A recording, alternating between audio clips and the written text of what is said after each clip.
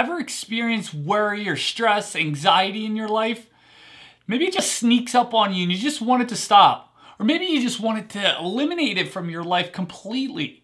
My name's Joe Moffett with Master Life by Design, and today's video is how to eliminate stress or anxiety from your life within minutes. And so I'm excited to dive in with you guys today because I actually just made a post about this the other day on Facebook and I thought, you know what, a lot of people in business and in their life in general, they, and especially in today's times, we all have this stress or anxiety show up in our life. And so how do we overcome it? And I just put together something on Facebook that it works for me, it works for clients, so why not spread it out into my audience out there around the world so that people can be able to take this simple strategy and have the information to overcome the stress or anxiety that they experience in their life. Some people, they experience it daily.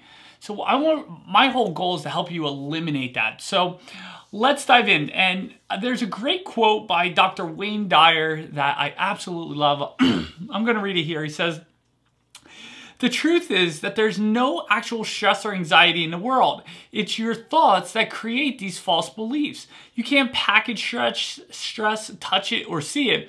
There are only people engaged in stressful thinking. And I always love that because there's if you think about two people, one experiences this stress and anxiety in their life, the other person doesn't. Well, if you have them in the same exact household, what's the difference?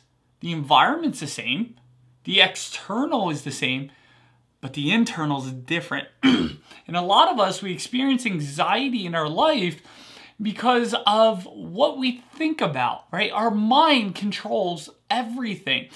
And if you think bad thoughts, and I'm just gonna, you know, simplify this, if you think bad thoughts, you're gonna start to feel bad, disempowered. But if you think good thoughts, you're going to feel a lot better. Now, I'm not sitting here, my whole message is not think positive thoughts, right? Like that, they, look, that doesn't always work for people. Does at times, but depends on the size and the amount of time that one's been thinking about something in their life or in that moment. And we'll talk about that here in a moment. Um, but I have a great teacher, Dr. Matt James. Uh, he owns NLP.com, Huna.com, and he wrote a great article around the anxiety. And he says, when we feel anxious, what we're actually doing is we're imagining a bad outcome for something that, that hasn't happened yet. See, our unconscious mind controls 90 to 99% of us. And our unconscious mind thinks in pictures, symbols, metaphors. And so what we're doing is we're sometimes unconsciously, we're projecting a bad outcome, a bad image in our brain of something. Like for example, you're not works you know might be laying people off. And you imagine in your mind you getting a pink slip and getting cut off. Or you worry you have this image of something happening to your child. Or you have this image of something happening to a family member or yourself with your health and it's a, not a good one. This image pops up in our head and it controls us right? And then when we have these thoughts it's like all of a sudden it triggers us to go into that fight or flight mode. And that's really the sympathetic nervous system. It kind of functions like a gas pedal in a car. It triggers that fight or flight response, providing the body a burst of energy that so that it can respond to the perceived dangers. So you trigger the sympathetic nervous system to kind of push on the gas. And all of a sudden it's like, we have these worries, these thoughts, and it's like we're out of control. So what do we do? How do we take our foot off the gas? Well, this is what I do to help eliminate anxiety or stress in my life. And the first thing is I like to sit down and I like to close my eyes and put on some meditation music. So immediately what that's doing is we're cutting off one sense of sight of anything that could be triggering us to go into that fight or flight response that could give us that uh, anxiety or stress, excuse me. And so I do that, but then I also put on meditation music to start kind of putting me in this space, right? This auditorial modality that starts to bring peace and joy. It's kind of like when I meditate, I have these meditation music clearly, and that is an anchor to start going into a peaceful state. So if you turn that on, you're automatically closing off one sense, turning on another sense, and sending a trigger, an anchor of peacefulness to start letting your foot up off the gas. And so I start there. But then you got to remember, just because you're doing that does not mean that your heart's not still racing. So the next step is we must be able to lower our heart rate and be able to kind of come back to a centered place. So how do we do that? What I like to do is I like to make sure I do an inhale through the nose for about a four to six second count and a long exhale out the mouth for about six to eight seconds. So what that does is as we breathe in, our heart rate elevates, but as we exhale, the longer we exhale, it allows our heart rate to decrease. So we're constantly gonna have this fluctuation, but hopefully over time, our heart rate starts to decrease. So it goes something like this, in for four seconds, out eight.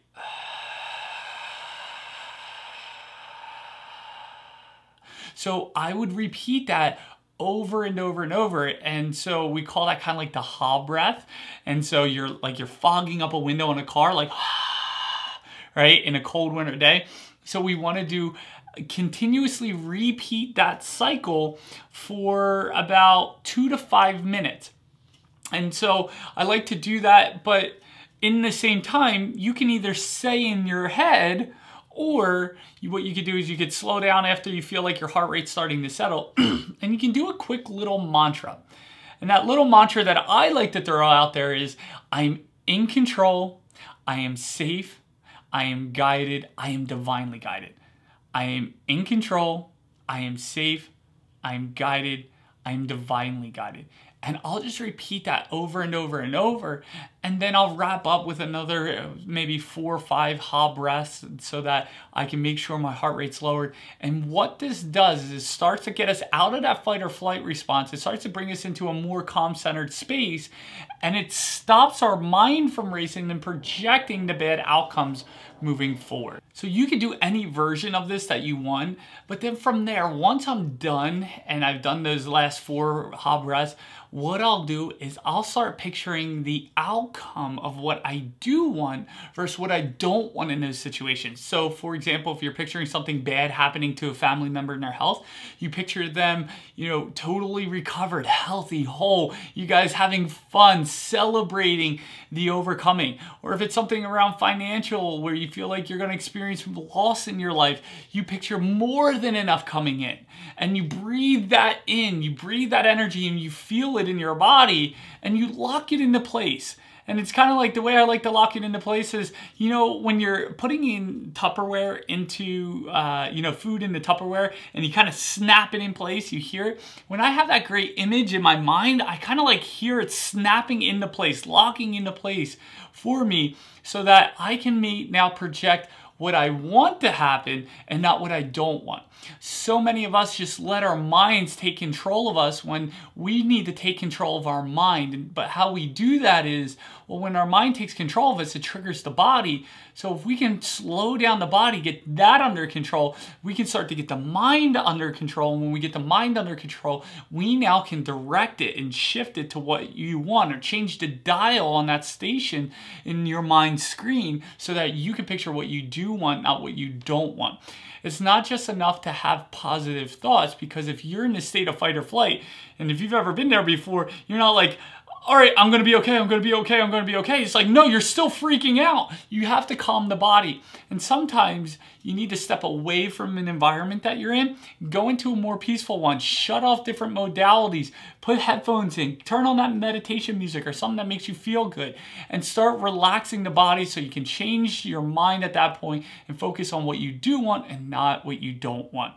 I'm telling you, I've done this many, many times before. It is not easy in the beginning. I want to warn you, it is not easy. So if you think, oh my goodness, I did what Joe said and it didn't work. Well, that's like you going, you had never been to the gym and you put on two plates on the bench press and you try to push and you can't move it. And you're like, I, I can't get stronger. No, you just haven't practiced enough. You haven't done enough reps at a lower weight to start building up there so that when it does happen over time, as you build that muscle, it becomes easier to get out of the stress and anxiety for you and you start to take control more and you'll notice that you'll start to slowly eliminate how long you experience stress or anxiety. You'll start to notice that it won't happen as frequently and ultimately you'll start to eliminate a consistent experience of that. Now will we always will we never experience stress or anxiety in our life ever again the answer is no. We're all human. I still do. I coach this, I teach this, I do this. I mean, I still have it from time to time. But what I don't do is I don't live there. A lot of people, they live there and they feel helpless to change. And so I wanted to make this video so that you felt in control, you felt powerful, and you had a, straight, a strategy or a way to overcome this and break it down in a simple way. So we got to take back our sympathetic nervous system, kind of let the foot off the gas so that you can change your mind and move forward. So look guys, I hope this helps. If you found value, please comment below whether you think it was great or you're like, I don't, you know, it just doesn't work for me. I want to hear, let me know, what was your experience? And then give this video a thumbs up if you liked it, but most importantly, subscribe, turn on the notifications because we're doing three videos a week coming at you and we want to be able to give you the best that we have here at Master Life by Design because we're all about consciously creating the life that you want, not what everyone else says on social media and the way you think you should live it. How do you want to live your life? And if you feel like you're just stuck in a rut and you can't do that, you can't you can't seem to break through, fill out the coaching application on the description below and one of us will reach out to you. Someone on the team will reach out to you about working with one of our coaches or one myself or my wife and so that we can help you break through to that next level and create life by design for you. So with that my name is joe Moffett with master life by design. Have a great one. See ya